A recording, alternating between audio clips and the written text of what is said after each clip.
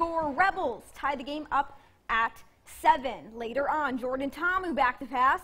He's going to throw deep downfield. It'll find DK Metcalf with the diving catch for the first down. More from Ole Miss later on. Ta'amu passing again. It's going to find Braylon Sanders on the 30-yard pass and score. It'll tie the game up yet again at 14. Second quarter now, Ta'amu passing again. He's going to find Elijah Moore downfield for a wonderful catch. He's gone 50 yards for the touchdown. Ties the game yet again at 21. But more from the Rebels. Ta'amu is going to pass. Look downfield for A.J. Brown. He's going to find him. 38 yards on the catch and score. Rebels with their first lead at 28 to 24 in this game. Back comes Southern Illinois. Strabvine Starkville native Raphael Leonard for a nine-yard touchdown. Salukis take the lead again, 31 to 28. But Scottie Phillips with the handoff.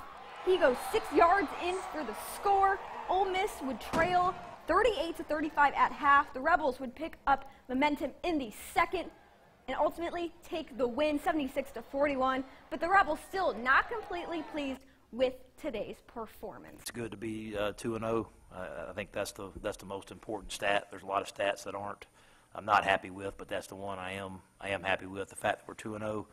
Um, you know, disappointed in the first half defensively.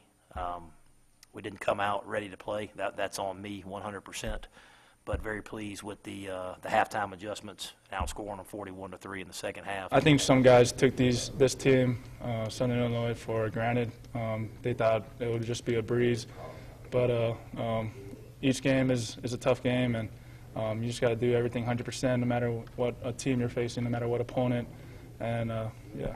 That was real huge, you know, uh, getting back home, back in the Vaught, um, seeing the fans.